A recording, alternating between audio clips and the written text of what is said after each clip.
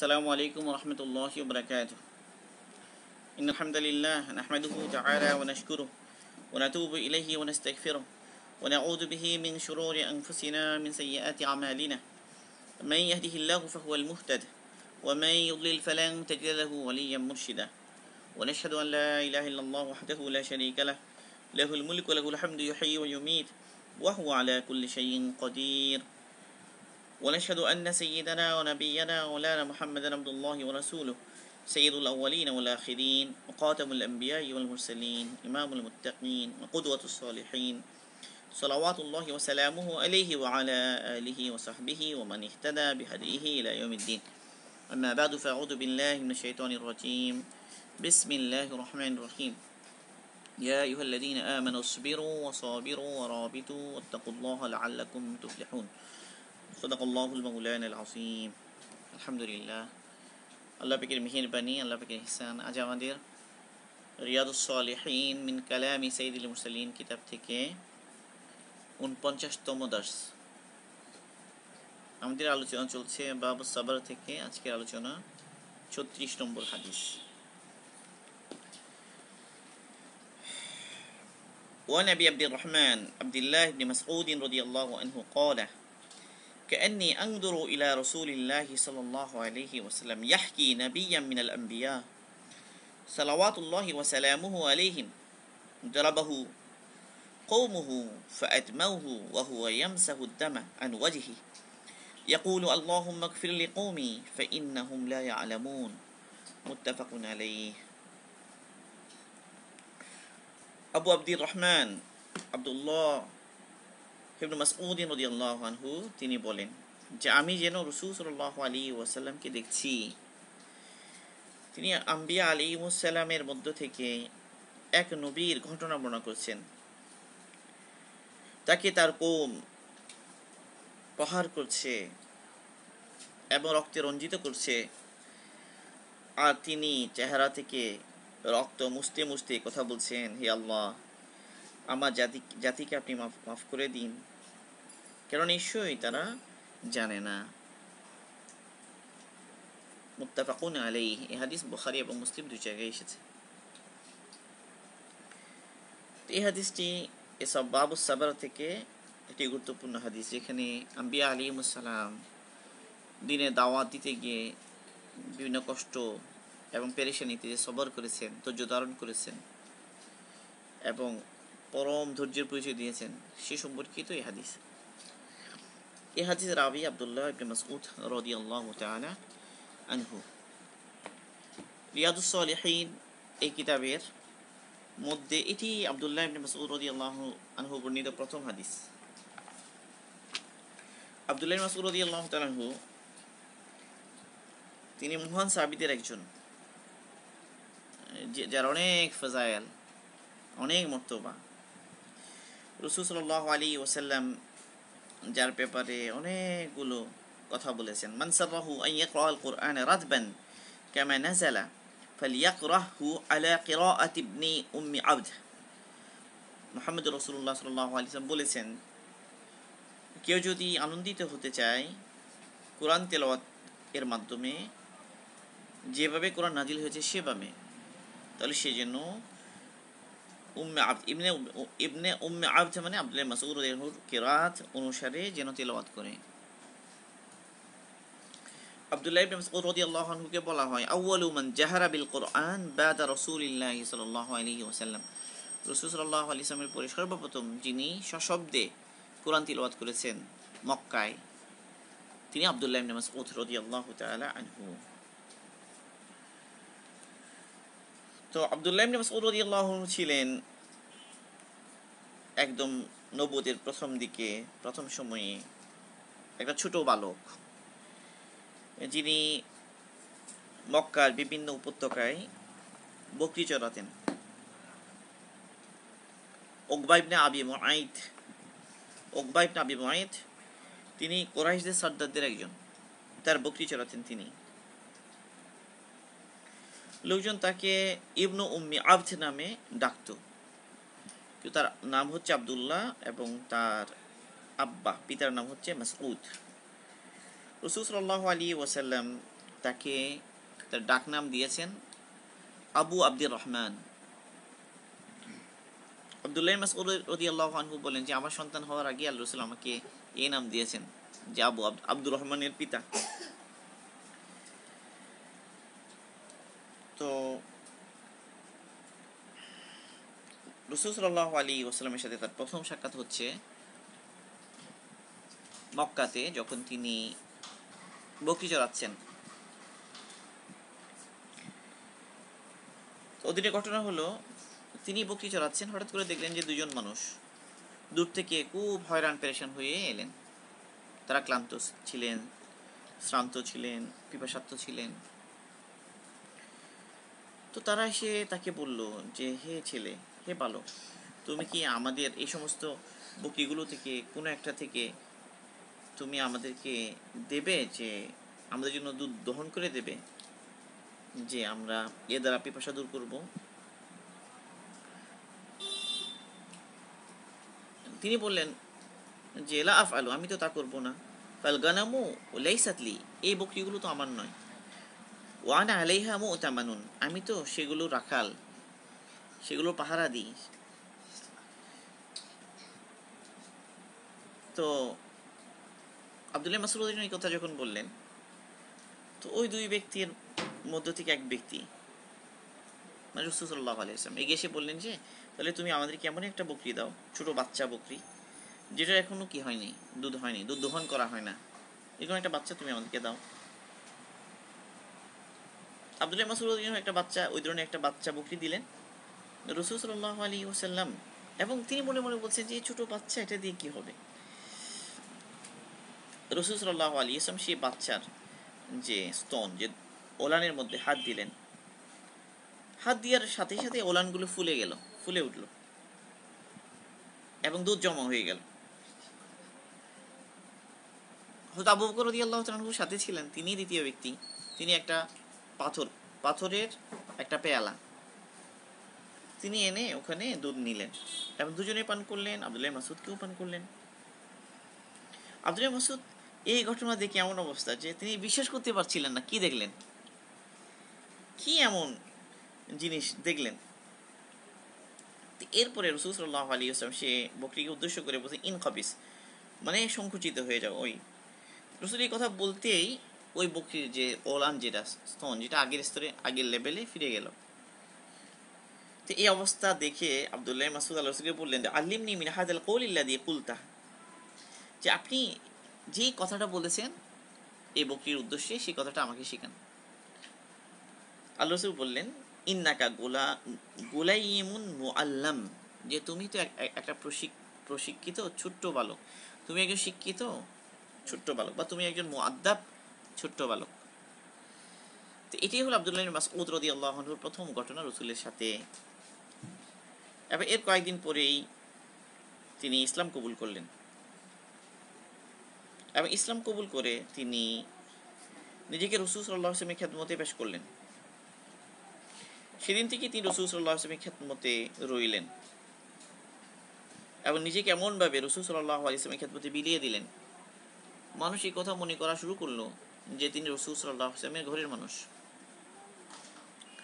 আবু মুসা শারি রদি আল্লাহ তালানহু তিনি যখন এলেন, তিনি বলেন যে, আমি যখন এলাম, তিনি ইয়েমেনের লোক ছিলেন। তিনি বলেন যে, আমরা আবদুল্লাহ এবং আবদুল্লাহ আম্মাকে আমরা রসুল সাল্লাহ আসলামের ঘরের মানুষ মনে করতাম। এটা এক রেওয়ায়ত। আরেক বর্ণে এসেছে যে, আমরা তো আবদুল্লাহ মাসউদকে রসুল সাল্লাহ আলী ইসলামের ঘরের গোলাম মনে করতাম। এই শব্দ দ্বারা বোঝা যায় যে, আবদুল্লাহ মাসউদ রদি আল্লাহ আনহু রসুল সাল্লাহ আসলামের খ্যাতমতে রসুল সাল্লাহ আসলামের পরিবারের খ্যাতমতে কীভাবে নিজেকে বিলিয়ে দিয়েছেন? কি পরিমাণ খ্যাতমত করেছেন? এবং তিনি এই সমস্ত নামে প্রসিদ্ধ। সাহিবুল নালাইন, রসুলের জুতা বাহক হিসেবে প্রসিদ্ধ। সাহিবুল সাহিবুল সিওয়াক, রসুল সাল্লাহ আসলামের মিসওয়াক বহনকারী হিসেবে প্রসিদ্ধ। সাহিবুল রিসাদা, রসুলের বালিশ বহনকারী হিসেবে প্রসিদ্ধ। সাহিবুল সির সাহিবুল সির রসুল রসুল সাল্লাহ আসলামের সমস্ত গোপনীয়তা। তার সমস্ত গোপনীয় জিনিস তাকে বলেন এমন। তো এই সমস্ত নামে প্রসিদ্ধ। রসুল যখন চলেন রসুল যখন কোথাও বের হবেন, তো রসুলের দুই জুতা তিনি এনে রসুলের সামনে খুলে ধরেন আর রসুল জুতা পরেন। আর তিনি লাঠি হাতে রসুলের সামনে সামনে চলতে থাকেন, রসুলের লাঠি হাতে। এরপরে যখন রসুল সাল্লাহ আসলাম কোনো মজলিসে বসবেন, তিনি জুতা খুলেন রসুল এবং তিনি দুই জুতা নিয়ে নিজের বগলে নিয়ে নেন। রসুল কোনো কামরাতে ঢুকবেন, তিনি আগেই ঢুকেন কামরা, হয়তো কামরাকে গুছান রসুলের জন্য। রসুল সাল্লাহ আসলাম যখন গোসল করবেন, তখন তিনি রসুলের জন্য আড়াল তৈরি করেন। তো এভাবে ছায়ার মতো রসুলের সাথে ঘরে বাইরে আবদুল্লাহ মাসুর রসুলের সাথে থাকেন। কি পরিমাণ সৌবত আল্লাহ রসুলে তিনি উঠি উঠিয়েছেন সুবাহান আল্লাহ আবদুল্লাহ মাসুদ রদি আল্লাহ এত বেশি সৌবত এত বেশি স্পষ্ট রসুলে উঠিয়েছেন। এবং রসুলের কাছ থেকে এত বেশি এলম হাসিল করেছেন। মানে এটা অকল্পনীয় একটা ব্যাপার। তো আবদুল্লাহ মাসুদ রদি আল্লাহ তিনি তিনি দুই হিজরতই করেছেন। তার মানে উনি আবিসিনাতে হিজরত করেছেন, আবার তিনি মদিনায় হিজরত করেছেন। এবং বলা হয় যে রসুল সাল্লাহ ইসলামের আখলাক, রসুল সাল্লাহ ইসলামের আদর্শে সবচেয়ে বেশি আদর্শবান বলা হয় তাকে। যে আব্দুল্লাহ মাসুর রদি আল্লাহ তালকে বলা হয় যে রসুলের অভ্যাস রসুলের মতো বলা, রসুলের মতো চলা, রসুলের মতো আদর্শ সব কিছুর ক্ষেত্রে সবচেয়ে রসুলের নিকটতম, সব দিক দিয়ে তিনি আবদুল্লাহ মাসুদ এবং তিনি কোরআনের, রসুল তার ব্যাপারে বলেছেন যে যে তোমরা যদি কোরআন পড়তে চাও, কেউ আনন্দিত হতে চায় কোরআন পড়ে, ওইভাবে যেভাবে আবদুল্লাহ মাসুদ পড়েন। কোরআনের এলম কোরআনের সম্পর্কে জ্ঞান অনেক বেশি কোরআনের এলম তিনি অর্জন করেছেন। এবং এই বিষয়ে অনেক ঘটনা আছে যে একবার হলো কি আরাফাতের ময়দানে ওমরদি আল্লাহ তালহু ওখানে ছিলেন। তো এক লোক এসে বলল যে হ্যাঁ আমি মুমিন আমি কোফা থেকে এসেছি। আমি তো সেখানে এমন এক ব্যক্তিকে রেখে এসেছি। মানে এমন এক ব্যক্তি সেখানে আছে যে কি করে? যে মুখস্থ, নিজের মুখস্থ থেকে কোরআন কোরআন লিখে। মানে মুখস্থ আছে, ওখান থেকে কোরআন লিখে লিখে সে মুসহাব যেটা মানে কোরআন কোরআন মজিদ, নিজের মুখস্থ থেকে লিখে বিতরণ করে মানুষকে বা এভাবে করে। অথচ আমির এটা নিষেধ করে দিয়েছিলেন যে কোরআন কোরআন সংকলিত কোরআন যেটা, সেটাকেই, সেটাই যেন সবাই কী করে? আমল করে তেলাবাদ করে, এটার হুকুম করা হয়েছিল। এদিকে আবদুল্লাহ ইবনে মাসউদ নিজের স্মরণ থেকে লেখেন, তো উমরের খুব রেগে গেলেন যে কে এটা? যে কোন ব্যক্তি? যে এই কাজটা করে? খুব রেগে গেলেন হ্যাঁ এমন কাজ এটা তো নিষেধ করা হয়েছে এটাই নিষেধ করার উদ্দেশ্য হলো কোরআনের যেন হেফাজত হয় এই উদ্দেশ্যে তো কে সে ঠিক আছে তো ও ব্যক্তি বলল যে আব্দুল মাসুদ রদি আল্লাহ এই কথা শুনি ওমর রদি আল্লাহ ওনার একদম পুরো রাগ ঠান্ডা হয়ে গেল তিনি বললেন ওয়াই হাক والله ما أعلم أنه بقي أحد من الناس أحق بهذا الأمر منه উনি বললেন যে দেখো যে আমি এই মুহূর্তে আবদুল্লাহ মাসুদ ছাড়া আর কাউকে জানি না পৃথিবীর বুকে যে এই কাজটা করতে পারে। মানে আবদুল্লাহ মাসুদ এই কাজটা করার যোগ্য, তিনি করতে পারেন। এবং ওমর তার ব্যাপারে ঘটনা শোনালেন যে এক রাতে রসুল সাল্লাহ আলী আবু বকর, আমি একসাথে ছিলাম এক জায়গায়। তো কেউ একজন মসজিদে কোরআন তিলবাদ করছে দাঁড়িয়ে, রসুল সাল্লাহ দাঁড়ালেন এবং তার তিলবাদ শুনতে লাগলেন।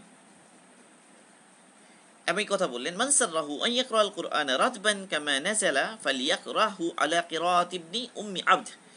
রাসূল কথা বললেন যে যে ব্যক্তি আনন্দিত হতে চায় কোরআন তেলাওয়াত করে, ওইভাবে যেভাবে নাজিল হয়েছে, সে যেন আব্দুল্লাহ ইবনে মাসউদের যে কিরাআত সে অনুযায়ী কি করে কোরআন তেলাওয়াত করে? এরপর আল্লাহ রসুল আবদুল্লাহ ইবনে মাসউদ ওই নামাজে ছিলেন। তিনি বসলেন, বসে দোয়া করা শুরু করলেন।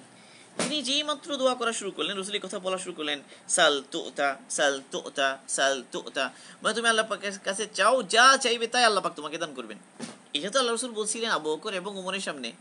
আব্দুল্লাহ মাসুদ তো আর ওখানে নাই। উনি তো মসজিদে নামাজ, নামাজেরত অবস্থায় আছেন, দোয়ারত অবস্থায় আছেন। উমর চিন্তা করলেন যে আমি দৌড়ে যাই আব্দুল মাসুদকে এই খুশখবরি দিয়েছে। রসুল যে তার দোয়ার পক্ষে আমিন বলছেন এবং তার জন্য তার দোয়া কবুলের ব্যাপারে রসুল বলছেন যে তার দোয়া এখন কবুল হবে, আমি এই সংবাদ সুসংবাদ দেওয়ার জন্য দৌড়ে তাড়াতাড়ি আবদুল্লাহ মাসুদের দিকে গেলাম। আমি গিয়ে দেখি যে আমার আগে আগে আবু সিদ্দিক ওখানে এসে হাজির মানে তিনি আমার আগে ওনাকে সুসংবাদ দিচ্ছেন যে আল্লাহ রসুল তোমার জন্য দোয়া করছেন। তুমি এখন দোয়া করো, তোমার পছন্দ নিয়ে দোয়া করতে থাকো তুমি। কারণ রসুলের সঙ্গে আমিন বলছেন। মানে এই সুযোগ তুমি হাতছাড়া করিও না। ওমর বলেন যে, ওয়ালা ওয়ালা ওয়াল্লাহ, মা মা মা সাবাকতু আবা বাকরিন ইলা খয়রিন কত্তু ইল্লা সাবাকানি ইলাই। এখানে ওনারা একটা চমৎকার কথা বলছেন যে, আমি আসলে কোনো ব্যাপারেই আবু বকর সিদ্দিক রদি আল্লাহ আনহুর চাইতে অগ্রগামী হতে পারলাম না। এখানেও তিনি অগ্রগামী। আমার আগেই তিনি আব্দুল্লাহ মাসুদকে বলে ফেললেন আবু বকর সিদ্দিক। তো ইনি হচ্ছেন আবদুল্লাহ মাসুদ এরকম যিনি ব্যক্তি যে ব্যক্তি, তিনি তো হক রাখিনি এরকম করার। আবদুল্লাহ মাসুদ রদিয়াল্লাহ আনহু কিতাবের ইলমের ব্যাপারে এমন একটা পর্যায়ে পৌঁছেছেন তিনি কথা বলতেন ওয়াল্লাহ আল্লাযী লা ইলাহা গায়রু মা নাযালাত আয়াতু মিন কিতাবিল্লাহ ইল্লা ওয়া আনা আ'লামু আইনা নাযালাত ওয়া আ'লামু ফীমা নাযালাত ولو أعلم أن أحدا أعلم مني بكتاب الله تناله المتي لأتيته আব্দুল্লাহ মাসুদ বলছেন যে আল্লাহ পাক ওই জাতির কসম যিনি আর কোনো ইলাহ নাই এমন আল্লাহ পাকের কালামে এমন কোনো আয়াত নাজিল হয়নি, অথচ আমি জানি না সেটি কোথায় নাজিল হয়েছে। এবং আমি জানি না সেটা কি ব্যাপারে নাজিল হয়েছে, এরকম একটা আয়াতও নেই। মানে কোরআনে পাখির যত আয়াত আছে, সব আয়াত কোথায় নাজিল হয়েছে, কোন ব্যাপারে নাজিল হয়েছে, আমি এ ব্যাপারে সবচেয়ে বেশি ভালো জানি। তিনি স্বয়ং নিজে বলছেন আল্লাহ পাকের কসম কে এবং তিনি বলছেন যে আমি যদি জানতে পারি আল্লাহ পাকের কিতাবের ব্যাপারে আমার চেয়ে তার কেউ বেশি জ্ঞানী এবং তার কাছে আমার যাওয়া সম্ভব হয়, তাহলে আমি অবশ্যই তার কাছে হাজির হব ওই জিনিস তার কাছে অর্জন করার জন্য। এবং কেবল যে এটা তিনি দাবি করছেন এমন না সে উমর উদি আল্লাহ তালানহু একটা ঘটনা উদি স্বয়ং মানে একটা ঘটনার সাক্ষী রদি স্বীকৃতি দিচ্ছেন। কীভাবে ঘটনাটা হলো? একবার রদি রাতের বেলা দেখলেন যে একটা কাফেলা এসেছে, রাত। তো রাতের অন্ধকারের কারণে এই কাফেলা কোথাকার? কারা এই কাফেলাতে আছে? কিছু বোঝা যাচ্ছে না। তো ওমর আল্লাহ এক ব্যক্তিকে দাঁড় করিয়ে দিলেন। সে যেন আওয়াজ জুড়ে আওয়াজ দিয়ে জিজ্ঞেস করে যে, এরা কোন গোত্র? থেকে এসেছে? যেন জিজ্ঞেস করে। তো যে, যখন ওই ব্যক্তি জিজ্ঞেস করল, মিন আইনাল কৌম? মানে তোমরা থেকে এসেছ? তো আবদুল্লাহ মাসুদ জবাব দিলেন মিনাল ফাজিল আমিক। মিনাল ফাজিল আমিক, এটা হলো একটা আয়াতের দিকে ইশারা, ওই যে হজের আয়াত। যে পৃথিবীর বিভিন্ন প্রান্ত থেকে যে মানুষ হজের জন্য আসবে, উমরার জন্য আসবে, কোরআনে পাকে সুরা হজের মধ্যে আয়াতটা, সে আয়াতের দিকে ইশারা করেছেন। তো মিনফাজিল আমিক, তো ওমর জিজ্ঞেস করলেন যে, আইনা তুরিদুন? তোমরা কি কি জন্য এসেছ? তো ওই যে যে ব্যক্তিকে দাঁড় করিয়েছেন, তাকে বললেন, দেখো এই এই কাফেলার মধ্যে একজন আলেম আছেন তো কাজেই তুমি তাদেরকে জিজ্ঞাসা করো এই কথা যে, আইয়ুল কোরআনি আজম মানে তুমি আওয়াজ দিয়ে জিজ্ঞাসা করো তাদেরকে, আইয়ুল কোরআনি নেটওয়ার্ক একদম চলে গিয়েছিল, আবার এসেছে, আলহামদুলিল্লাহ। তো যে কথা বলছিলাম যে, ওমরুদ্দিন জিজ্ঞেস করলেন যে তিনি বললেন যে এখানে একজন আলিম আছে, তো তুমি জিজ্ঞেস করো কোরআনে পাখির মধ্যে সবচেয়ে মর্যাদাপূর্ণ আয়াত কোনটা? আইয়ুল কোরআনি আজম মর্যাদাপূর্ণ আয়াতটা কি? তুমি এটা জিজ্ঞেস করো। তো আব্দুল্লাহ মাসুদ জবাব দিলেন মর্যাদাপূর্ণ আয়াত হলো, আল্লাহু ইল্লাহুল হাইয়ুল লা তাখুযুহু সিনাতু ওয়া লা নাওম মানে আয়াতুল কুরসি। এই কথা জিজ্ঞেস করার পরে, বলার পরে ওনারা আবার জিজ্ঞেস করলেন যে, তুমি তাকে জিজ্ঞেস করো, আইয়ুল কোরআনি আহকাম মানে মহুকাম আয়াতের মধ্যে মানে ব্যাপক হুকুম আহকামকে সামিল করে, এরকম আয়াত কোনটা? আব্দুল্লাহ ইবনে মাসুদ জবাব দিলেন ইন আল্লাহ ইয়ামুরু বিল আদলি ওয়াল ইহসান ওয়া ইতাই দিল কুরবা ওয়া ইয়ানহা আনিল ফাহশাই ওয়াল মুনকার এই আয়াতটি হলো সবচেয়ে মানে মুহকাম আয়াতের মধ্যে সবচেয়ে বেশি আহকামকে ধারণ করে। তার মানে হলো আল্লাহ পাক তোমাদেরকে আদল এবং ইহসানের হুকুম করেছেন এবং তোমাদের যারা নিকট আত্মীয় তাদের হক আদায় করার কথা বলেছেন। মানে এটা হলো অনেক প্রশ্ন আদাল এবং ইহসান এটা এমন একটা বিষয়, আদালের হুকুম করা ইহসানের হুকুম করা, এটা সমস্ত ন্যাক আমাল এর হুকুমকে সামিল করে ফেলে। এ আয়াত, এত প্রশস্ত এ আয়াত। এই জন্য প্রত্যেক জুমার খুদ্বাতে দ্বিতীয় খুদ্বার ক্ষেত্রে বিশেষ করে এই আয়াতটা পড়া হয়। প্রত্যেক দ্বিতীয় খুদ্বাতে জুমার মধ্যে দ্বিতীয় খুদ্বাতে প্রায় দ্বিতীয় খুদ্বাতে এটা পড়া হয়। কারণ এটা অনেক বেশি আহকামকে সামিল করে। সমস্ত আল্লাহ পাকের বিধিবিধানকে সামিল করে। এরপরে উমর আবার জিজ্ঞেস করলেন, তাদেরকে জিজ্ঞাসা করো, আইয়ুল কোরআনি আজমা? মানে কোরআনের মধ্যে ব্যাপক অর্থবোধক আয়াত কোনটা? আব্দুল্লাহ জবাব দিলেন ফামাই আমাল মিথকাল যারাতিন খয়রা ইয়ারা ওয়ামাই আমাল মিথকাল যারাতিন শাররা ইয়ারা এটা হলো সবচেয়ে আজমা, সবচেয়ে বেশি ব্যাপক অর্থবোধক সব কিছুকে সামিল করে এরকম একটা আয়াত। এরপর ওমর আবার জিজ্ঞেস করলেন, আইয়ুল কোরআনি আখওয়াফ? মানে মুমিনদের অন্তরে সবচেয়ে বেশি ভয় ধরিয়ে দেয় কোন আয়াত? ওমর আবার আব্দুল্লাহ মাসুদ আবার জবাব দিলেন, এ আয়াতটা লাইসা লাইসা বিআমানিকুম ওয়ালা আমানি আহলিল কিতাব, মান ইয়ামাল সুআই সুআই ইউজাজা বি ওয়ালা ইয়াজিদ লাহু মিন দুনিল্লাহি ওয়ালা নাসীরা। এই আয়াতগুলো পাকের মধ্যে সবচেয়ে ভীতিপ্রদ আয়াত। কারণ এই আয়াতে আল্লাহ পাক কি বলেছেন? সূরা নিসার আয়াতটা। আল্লাহ পাক বলেছেন যে, তোমরা আশা করবা, তোমাদের আকাঙ্ক্ষা যে জান্নাত পাওয়ার। কিতাবের আকাঙ্ক্ষা জান্নাত পাওয়ার। যে না, তোমাদের আকাঙ্ক্ষার বিনিময়েও তোমরা জান্নাতে বসতে পারবে না। আহলে কিতাব কেবল আশা করে, আকাঙ্ক্ষা করে, এর দ্বারাই তারা জান্নাতে পৌঁছে যেতে পারবে না। বরং যে ব্যক্তি কোনো বদামল করেছে, তাহলে তাকে এটার শাস্তি দেয়া হবে। এবং সে পাবে না আল্লাহ পাককে ছাড়া কোনো বন্ধু, কোনো সাহায্যকারী। তো এটা হলো অনেক সবচেয়ে বিতপদ আয়াত। এরপরে আবার জিজ্ঞাসা করেন ওমর রাদিয়াল্লাহু তাকে জিজ্ঞে, বলো যে, আইয়ুল কোরআনি আরজা? কোরআনে পাকের মধ্যে সবচেয়ে আশাপ্রদ, আশা আশা দান করে আশা প্রদানকারী, সবচেয়ে আশা করা যায় যে, শুনে মুমিনের অন্তরে অনেক বেশি আশা হয়। সে একটা কোনটা কোনটা? আব্দুল্লাহ মাসুদ বললেন, কুল ইয়া ইবাদিয়াল্লাযীনা আসরাফু আলা আনফুসিহিম লা রাহমাতিল্লাহ ইয়াগফিরু যুনুবা জামিআ, ইন্নাহু রহিম। আমরা তো সবাই জানি যে কেউ সমস্ত বান্দারা যারা জুলুম করেছ, তারা কি করো না? আল্লাহ রহম থেকে নিরাশ হইও না আল্লাহ পাক গুণা সমস্ত গুণা ক্ষমা করে দিবেন, কারণ তিনি ক্ষমাশীল, দয়ালু এখন এতটুকু যখন এই প্রতিটা প্রশ্নের জবাব যখন ওই প্রান্ত থেকে চলে এলো তো ওমর রদিনও তাদেরকে বল- যে, তুমি তাদেরকে জিজ্ঞাসা করো, তাদের মাঝে আব্দুল্লাহ ইবনে মাসুদ আছে কিনা? মানে এতগুলো প্রশ্ন কোরআন সম্পর্কে পৃথিবীতে এখন একমাত্র এক ব্যক্তি আছেন, যিনি এই সবগুলোর আনসার সঠিকভাবে দিতে পারেন। তিনি আব্দুল্লাহ ইবনে মাসুদ কাজে এই কাফেলাতে অবশ্যই আব্দুল্লাহ ইবনে মাসুদ থাকবেন। তো তুমি কি করো? জিজ্ঞাসা করো, আফিকুম আব্দুল্লাহ ইবনু মাসউদিন? জবাব এলো ভিতর থেকে, আল্লাহ নাম হ্যাঁ আমাদের মাঝে আব্দুল্লাহ মাসুদ আছেন। মানে এখানে একটা জিনিস বোঝার যেটা এই ঘটনা থেকে ওমর যখন দেখলেন যে এই সমস্ত, এটা হলো কোরআনের স্পেশাল উলুম মানে পুরো কোরআনের উপর যার জ্ঞান আছে, পুরো কোরআন কোরআনের এলম যে ধারণ করে, কেবল সেই ব্যক্তি এই প্রশ্নগুলোর উত্তর দিতে পারবে। আইয়ুল কোরআনি আযমু, আইয়ুল কোরআনি আহকামু, আইয়ুল কোরআনি আজমাউ, আইয়ুল কোরআনি আখওয়াফু কোরআনি আরজা। এই সমস্ত প্রশ্নের জবাব এটা তো কোরআনে পাখির মানে সারমর্ম মানে কোরআন উলুমুল কোরআনের সারাংশ হলো এই প্রশ্নগুলো। তাহলে এই প্রশ্নগুলোর জবাব যে দিতে পারবে, সে অনেক বড় আলেম এবং জানেন যে এই মুহূর্তে পৃথিবীর বুকে কোরআনে পাকের উলুমের উলুমুল কোরআনের ব্যাপারে সবচেয়ে জ্ঞানী ব্যক্তি আব্দুল্লাহ ইবনে মাসুদ কাজেই এই কাফেলাতে অবশ্যই আব্দুল্লাহ ইবনে মাসুদ থাকবে। এই জন্য ওরা বললেন যে, তুমি জিজ্ঞাসা করো তাদের মধ্যে আব্দুল্লাহ মাসুদ আছে কিনা? তার মানে স্বয়ং উমর উদ্দিন এই কথা জানতেন যে পৃথিবীতে যে ওই সময় আবদুল্লাহ ইবনে মাসউদের চাইতে কোরআনের উপরে বেশি জ্ঞানী আর কেউ ছিলেন না। ইনি আবদুল্লাহ ইবনে মাসুদ তো তিনি কি ছিলেন না? কেবল তিনি কারি ছিলেন না, কেবল আলিম ছিলেন না, কেবল আবেদ ছিলেন না, কেবল জাহেদ ছিলেন না, বরং তিনি সাহসী ছিলেন, শক্তিশালী ছিলেন, মুজাহিদ ছিলেন। আবদুল্লাহ মাসুদ রদিয়ানহু তিনি বদরে শরিক হয়েছেন, উহুদে শরিক হয়েছেন, খন্দকে শরিক হয়েছেন। বদরের যুদ্ধে তিনি আহত আবু জাহালের মাথা কর্তন করেছেন, তার শরীর থেকে আলাদা করেছেন। এই সৌভাগ্য আল্লাহ পাক আব্দুল্লাহ ইবনে মাসউদ রাদিয়াল্লাহুকে দান করেছেন। বলা যে উহুদের ময়দানে যখন সবাই মানে যুদ্ধের প্রচন্ডতায় সবাই ত্যাগ করেছে আল্লাহ রসুলকে মানে সাহাবার অপারেশন হয়ে গেছেন, তখন চার ব্যক্তি আল্লাহ রসুলের সাথে ছিলেন, অটল ছিলেন। এই চারজনের মধ্যে একজন আব্দুল ইবনে মাসউদ রাদিয়াল্লাহু তাআলা আনহু। এবং আবদুল্লাহ রাদিয়াল্লাহু একমাত্র ব্যক্তি যিনি রসুলের পরে সর্বপ্রথম মক্কায় জুড়ে সশব্দে কোরআন তেলাওয়াত করেছেন আবদুল্লাহ মাসুর আনহু। যে একদিন হলো কি, যে কেউ তো এখন কোরাইশ, কোরাইশদের সামনে কোরআন জুড়ে পড়তে পারে না। কারণ কোরাইশরা কি করবে? নির্যাতন করবে এই কারণে। তো একদিন সাহাবারা জমা হইলেন হলেন এক জায়গায় মক্কাতে এবং তিনি বললেন যে যে তারা তো তখন অনেক দুর্বল ছিলেন, সংখ্যায় কম ছিলেন। তারা বললেন যে যে কোরাইশ তো এখনও কোরআন থেকে শুনে নাই। মানে কোরআনকে শব্দে উচ্চার, তেল তেল, তারা তো শুনতে পারেনি।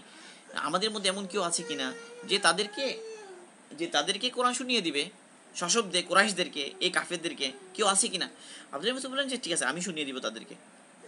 তো তারা বললেন না, আমরা তোমার ব্যাপারে ভয় পাচ্ছি যে আমরা এমন কোনো ব্যক্তি চাই যার আত্মীয় স্বজন আছে কোরাইশদের মধ্যে। সেই পড়লেও মানে তার আত্মীয় স্বজন থাকার কারণে তারা তার পক্ষে দাঁড়াবে, ফলে কোরাইশা তাকে কিছু করতে পারবে না। মানে তুমি তো এমন নও, তোমার পক্ষে কেউ নাই। তো তুমি পড়ো না। তিনি বলছেন না, আমাকে ছাড়ো, ইনশাআল্লাহ আল্লাহ পাকি আমাকে তাদের কাছ থেকে হেফাজত করবেন। আল্লাহ পাকি আমাদেরকে সাহায্য করবেন। তিনি মসজিদে গেলেন। মসজিদে গিয়ে একদম মাকামে ইব্রাহিমের নিকটে গিয়ে তিনি ওই চাষতের সময়ে তিনি নামাজে দাঁড়ালেন এবং জুড়ে কোরআন পড়া শুরু করলেন সশব্দে।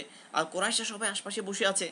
তিনি একজন সুরা আর রহমান তেলাওয়াত করা শুরু করলেন। বিসমিল্লাহ রহমান রহিম আর রহমান আল্লাহ আল কোরআন কলাক ইনসান আল্লাহ মাহুল সশব্দে তেলাওয়াত করা শুরু করলেন। তিনি কি তেলাওয়াত করছেন? আর কোরআশা তো অবাক অবাক হয়ে তারা ভাবছে।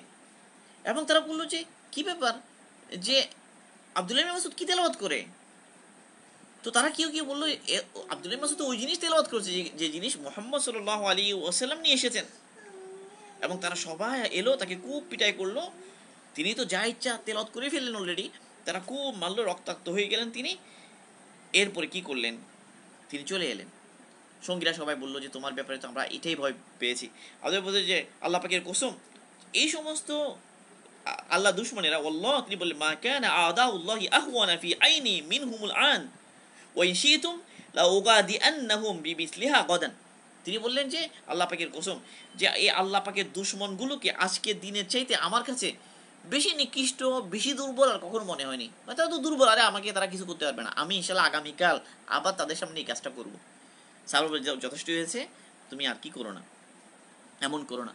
এই আবদুল্লাহ ইবনে মাসউদ রাদিয়াল্লাহু আনহুকে ওমর রাদিয়াল্লাহু আনহু কুফার উদ্দেশ্যে প্রেরণ করেছেন কুফাবাসীকে এলেম শেখানোর জন্য। কুফা কুফাকে কুফাবাসীর জন্য ওমর রাদিয়াল্লাহু আনহু আবদুল্লাহ মাসউদকে নির্বাচন করেছেন তাদেরকে এলেম শেখানোর জন্য।